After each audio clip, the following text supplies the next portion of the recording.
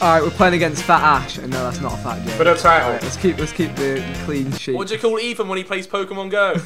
Oh, oh my god. Oh, a fat ash.